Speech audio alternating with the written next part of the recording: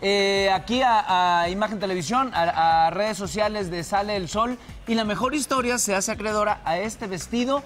Por si no tienes Oye, dinero, yo ¿con qué digo comprar un que vestido la de novia? Pocha mande su historia de amor, seguro se lo gana. Me encanta. ¿Verdad? Me oye, te encanta va a la encantar historia. lo que viene a continuación.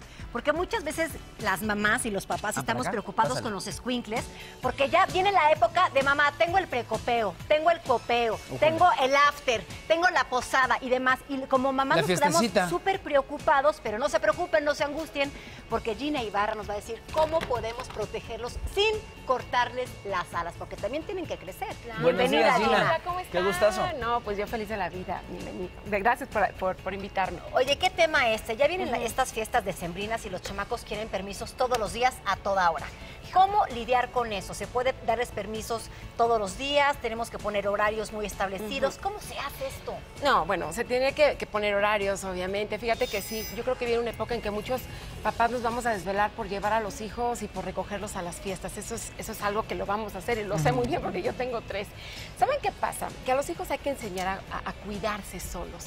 Desde que son chiquitos, sí lo hacemos. Desde dame la manita para cruzar la calle o no te vayas con extraños. Y entonces, conforme los niños van creciendo, van aprendiendo a hacerlos.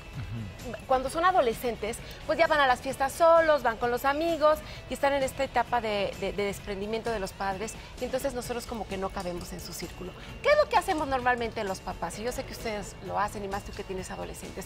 Una es pedirle a Dios que nos los cuide. Por Y la otra es confiar en todo lo que les enseñamos durante su infancia. Toda la cajita de valores que les inculcamos desde que eran chiquitos, se las entregas. Que no es que yo no crea en ningún Dios, pero creo que eso es sumamente importante más que prender una veladora. ¿eh? Sí, por supuesto, para que nos los proteja. Y creo que eso lo hacemos todas las mamás y los papás también. Lo que le enseñamos. Pero hay otro factor que a veces los papás no tomamos en cuenta. ¿Y saben ¿Cuál qué es? Que cuando los chavos entran en la, adolescente, en la adolescencia, ¿qué creen que hacen? Se desbocan. Vomitan la información que les dimos en la infancia. Se creen omnipotentes, se creen de hule y se creen estériles. Y además, em, su juicio está nublado. ¿Por qué? Porque su cerebro está en desarrollo. Y entonces ahí es cuando los papás nos choqueamos y decimos, pero si yo te lo enseñé desde chiquito, ¿por qué haces esto? Ejemplo, mi hija me dice, mamá, ¿me llevas a una fiesta? Ok, te llevo, te recojo a las 12. Y a las 11 de la noche llega y le digo, ¿pero qué pasó? ¿Qué haces aquí? Ay, ma, es que la reu estaba súper aburrida. Entonces conocí un chavo bien buena onda y me trajo a la casa. Madre mía. Y tú le dices, pero si te he enseñado que no te vayas con extraños. Y te contesta, qué exagerada eres, si tiene mi edad, ¿qué me va a hacer? Este, y además está bien guapo, ¿no?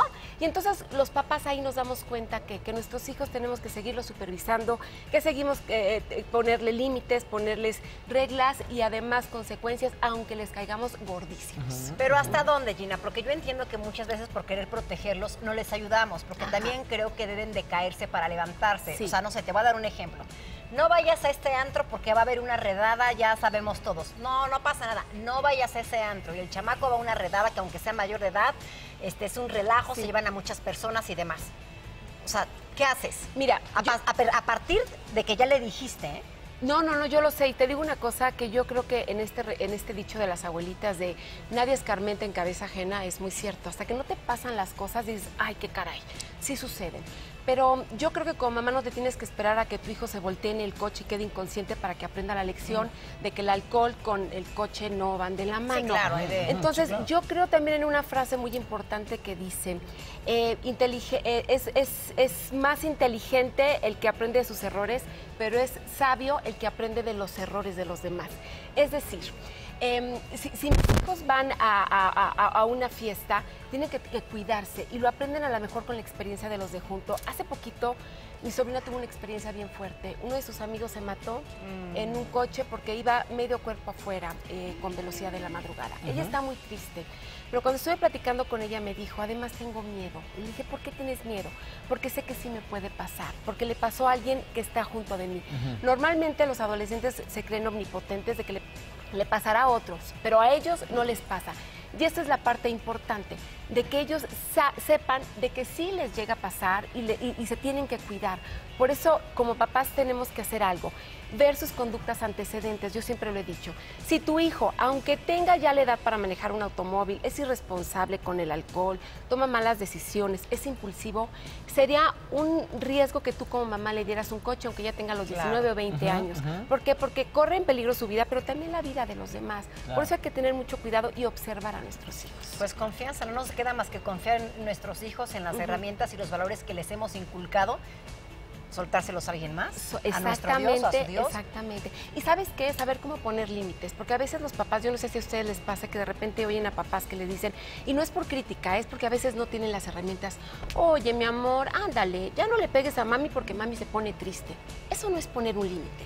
Los límites tiene que haber una congruencia verbal, una congruencia corporal, tienen que ser este, concisos, tienen que ser breves, tienen que ser contundentes para que el adolescente te los entienda. Si no, no te los va a entender. Y sobre todo tiene que haber consecuencias, porque si no hay consecuencias, no es un límite. Y saber que las amenazas no podemos eh, eh, utilizarlas para educar a nuestros hijos, porque si no nuestra autoridad se vuelve una burla ante ellos. O sea, nos agarran el modo. Y si pones cumples. claro. Por supuesto. porque puedes, a ver, va a pasar esto que lo entre comillas podría ser una amenaza, pero si no la cumplo. No, pues es una sugerencia. Se acaba y deja de existir. Ahora, en el, en el mundo utópico eso funcionaría, pero los, los, los, adolescentes son recurrentes en sus necedades. Ah, sí, claro. Completamente. Eh, eh, porque creen que no les va a pasar y recordemos nuestra adolescencia, ¿no? Y es padrísima. No, y es una, es una etapa maravillosa que hay que vivirse con los amigos, hay que disfrutar. Y ¿saben qué? Que ahorita creo que podríamos dar algunas recomendaciones porque se acercan posadas, se acercan fiestas, se acercan el precopeo, como tú dices. Yo creo que no es invadir la privacidad de tu hijo el preguntarle con quién vas, a dónde vas, ponerle límites, ponerle horarios, a qué horas llegan, porque muchos papás dicen, es que no quiero invadirlos. No, no es invadirlos, es supervisarlos, es saber que nosotros estamos ahí.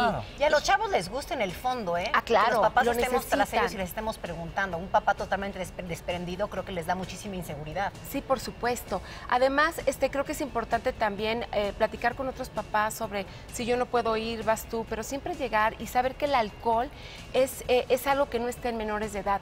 Las fiestas de paga, yo en lo personal, y tú a lo mejor, Pau, también tus hijos están todavía chiquitos, Mau, pero las fiestas de paga no es algo que a mí me guste para, para los chavos porque hay muchos abusos de alcohol, hay ¿Qué abusos. son las fiestas de paga? Que cualquier chavo puede ir pagar, entra a la fiesta y, y vendes los ah, boletos y ya. Yo hago una fiesta en mi casa y la vendo. Es un, negocio. Y, se usan los chavos, entonces hay mucho alcohol. Y hay chavos que entran únicamente para hacer pleito, para ponerle ciertas cosas en las bebidas. Entonces no es recomendable. ¿Qué recomendación nos darías? Estamos prácticamente sin tiempo. Eh, una recomendación para papás con hijos adolescentes. Supervisar a tus hijos, ponerle límites, ponerle reglas, ponerles horarios, estar al pendiente de ellos. Porque aunque los veamos grandotes, con barbas, todavía no están, este, todavía no tienen el juicio bien. Y saben otro dato que les quiero dar ya para finalizar. ¿Saben por qué septiembre es el mes en donde más nacimientos se dan? ¿Y saben por qué? ¿Por, la culpa de la Navidad. Porque en donde más se concibe, donde hay más embarazos, es en este, es en, es en diciembre y nace en septiembre. muy al pendiente. Así que hay que hablar de, de, este tema con nuestros hijos. Gracias, Gina, muchísimas gracias. Vamos a seguir con más aquí en Sale el Sol. Oye, y con uno que se crea adolescente. Sale el Sol, lunes a viernes de 8 a 12 del día. Participa en Imagen Televisión.